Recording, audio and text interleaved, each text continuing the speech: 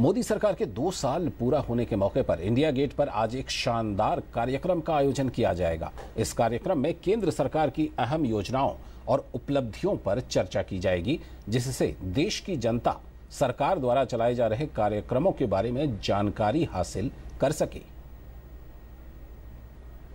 28 को all India telecast full report card.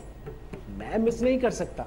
Society में knowledge must आप भी ज़रूर देखिएगा। मोदी सरकार के दो साल पूरे होने पर होगा एक अनोखा टॉकेथॉन जिसमें कई जानी मानी हस्तियाँ शामिल होंगे और साथ में होंगे इस विकास यात्रा में शामिल कई लोग जो आपको सुनाएँगे विकास की गौरव गाथा। प्रधानमंत्री नरेंद्र मोदी की अगुवाई वाले केंद्र सरकार के दो साल पूरा होने के मौके पर शनिवार शाम इंडिया गेट पर एक भव्य कार्यक्रम का आयोजन किया गया है। तकरीबन छः घंटे तक चलने वाले इस कार्यक्रम के दौरान तमाम नामचीन हस्तियाँ मौजूद होंगी।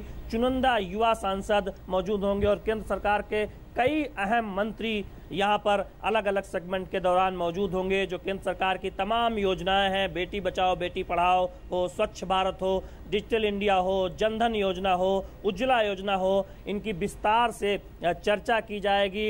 इन पर, इनकी सफलता पर आधारित छोटी फ़िल्में भी दिखाई जाएँगी और तमाम चर्चा पर चर्चा होगी। इस कार्यक्रम के दौरान सबसे अहम सेगमेंट में प्रधानमंत्री नरेंद्र मोदी खुद मौजूद रहेंगे। केंद्र सरकार की जो तमाम अहम योजनाएँ हैं, उनकी चर्चा होगी, उन पर पैनल डिस्कशन होगा। तमाम जो नामचीन हस्तियाँ हैं, वो इस कार्यक्रम के दौरान मौजूद रहेंगी और दूरदर्शन के चैनल पर इसका सीधा प्रसारण किया जाएगा।